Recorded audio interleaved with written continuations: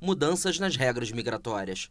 A partir desta segunda-feira, o Brasil endureceu os requisitos para entrar no país após um aumento no fluxo de pessoas que querem chegar aos Estados Unidos e ao Canadá através do Aeroporto Internacional de Guarulhos, em São Paulo.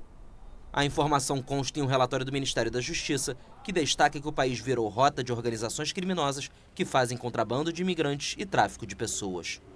A Polícia Federal detectou um aumento exponencial de viajantes que fazem escala no aeroporto de Guarulhos e, ao invés de seguirem viagem até o destino final de seus bilhetes, ficam para tentar entrar em território brasileiro. Com isso, centenas de pessoas permanecem aglomeradas na área de trânsito, o que suscitou denúncias de violação dos direitos humanos, especialmente após a morte de um migrante que passou mal no local. A maioria dos migrantes vem da Ásia e tem bilhetes com destino final em outros países sul-americanos.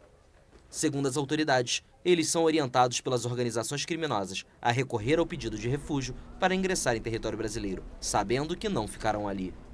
Em seguida, seguem por terra para a Colômbia, onde cruzam a fronteira com o Panamá, através da perigosa selva de Darién, antes de tentarem chegar aos Estados Unidos ou Canadá. A partir de agora, será exigido visto de quem pretende viajar para um terceiro país em voo com conexão no Brasil.